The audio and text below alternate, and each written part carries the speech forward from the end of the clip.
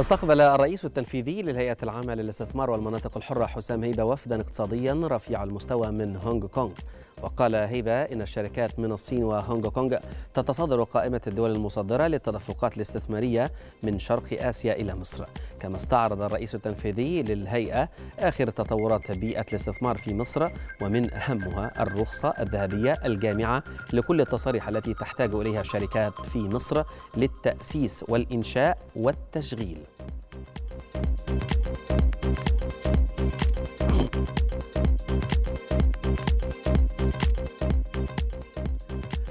استقبل رئيس الهيئة العامة للمنطقة الاقتصادية لقناة السويس وليد جمال الدين وفد مدينة ينجتان الصينية. تناول الاجتماع بحث التعاون المشترك لجذب الشركات الصينية العاملة والراغبة في التوسع خارج الصين.